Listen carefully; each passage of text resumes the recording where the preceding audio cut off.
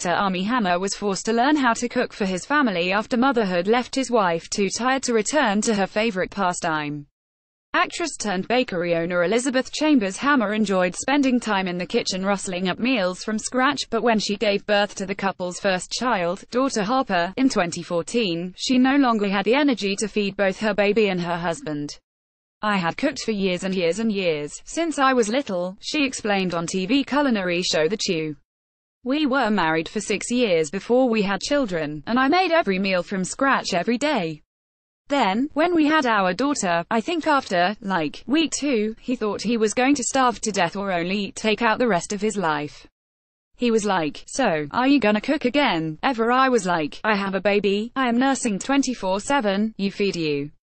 The Call Me By Your Name star stepped up to the challenge and found a few easy recipes, and now Armie has become quite the talent in the kitchen. At that point, he kinda figured out how to feed him sick, Elizabeth said.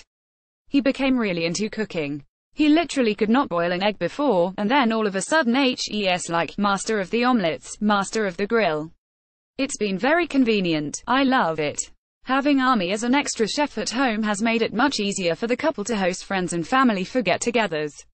It used to be whenever we had dinner parties, I was like, I don't know, we could do three parties, or two parties this week, she shared, and now I'm like, invite whoever you want over, you're doing everything. Go for it.